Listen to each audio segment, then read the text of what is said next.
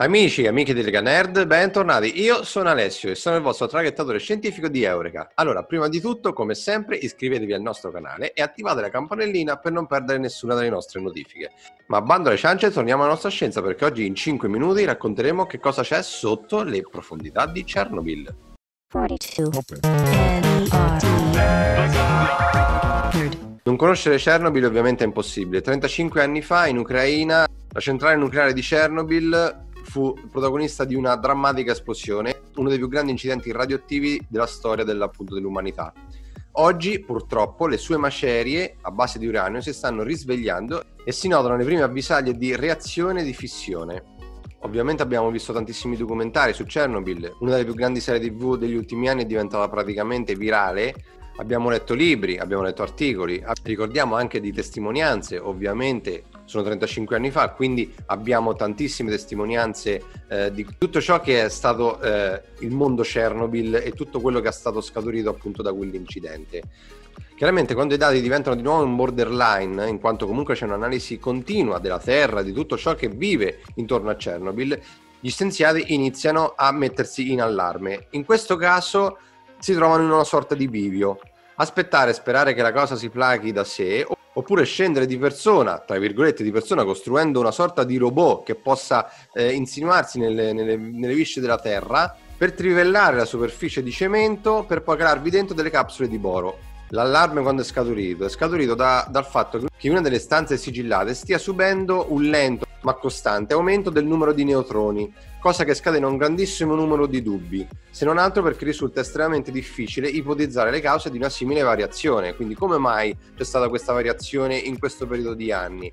Come abbiamo ripetuto prima, l'analisi di tutta la Terra intorno alla, alla centrale di Chernobyl è sempre in continuo eh, monitoraggio, però chiaramente in questo caso si inizia un po' a, a prendere qualche decisione.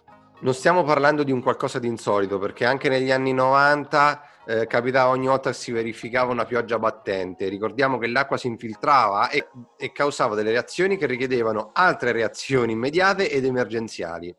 Solitamente veniva inviato uno stalker, tra virgolette, era uno scienziato che rischiava la pellaccia in prima linea. Eh, all'epoca non, non, c'era una possibilità di mandare dei robot, mandare delle, eh, delle cose artificiali e quindi c'era il eh, kamikaze di turno che doveva eh, scendere e controllare tutto quanto oltre che controllare doveva riversare, quindi aveva proprio una missione a tutti gli effetti, doveva riversare una soluzione di nitrato di gadolinio, il quale appunto assorbe tutti i neutroni. Tuttavia da allora tutti i sistemi sono stati aggiornati, tutto è stato chiuso ermeticamente e sono persino stati installati degli irrigatori della suddetta soluzione, almeno nelle aree raggiungibili, chiaramente per cercare di preservare quanti più scienziati possibili o stalker in questo caso si chiamavano appunto in questo, in questo modo.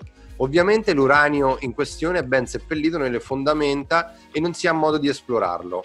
Nonostante si stia risvegliando, gli scienziati sono quasi abbastanza sicuri, nel mondo della scienza non si ha mai la certezza finché non si hanno ovviamente delle analisi ben precise, che Chernobyl possa nuovamente farsi protagonista di un cataclisma dalla magnitudine di quello che lo aveva reso famoso. Ciò non di meno, gli scienziati ritengono sia assolutamente necessario mantenere la guardia alta e fare tutte le possibili analisi del caso. Tutta questa storia servirà anche per tutta la parte dedicata a Fukushima per cercare di quantomeno arginare una problematica così importante quanto le conseguenze di un incidente nucleare così devastante. Quindi in chiusura di questa notizia sapete che ci piace dare appunto anche le breaking news perché comunque sono delle notizie molto importanti da, eh, da fornirvi. Mettete un like qua sotto e condividete il nostro video e al prossimo approfondimento. Ciao ragazzi!